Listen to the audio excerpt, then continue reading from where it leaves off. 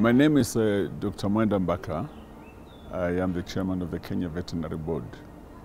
The Kenya Veterinary Board is uh, charged with uh, ensuring that uh, there is quality assurance in veterinary service delivery in the country. And part of our job is to create awareness and sensitization to the stakeholders. What we're hoping will come out of this workshop is um, a discussion with them whereby we will interrogate the available opportunities to intervene where there are challenges or obstacles to efficient veterinary service delivery.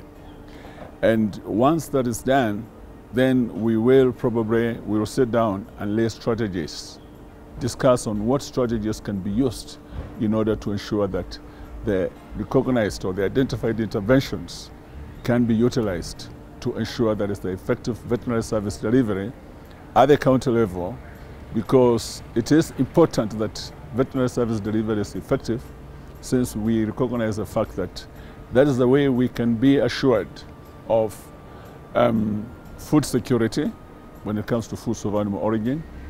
That's how we can be assured of public health safety when it comes to infections or infestations or any other harmful products that may come in to human beings as a result of um, animal, you know, animals or products of animal origin. And then also we recognize the fact that the, animal the animals or the animal resource plays a big role when it comes to the GDP of this country, which obviously trickles down to wealth creation at the animal owners level. So now effective veterinary service delivery ultimately is aimed to do that. Market access, particularly at the global level, is highly dependent on a country's ability to have effective veterinary service delivery with an evident um, sufficient regulation by our body, the Kenya Veterinary Board.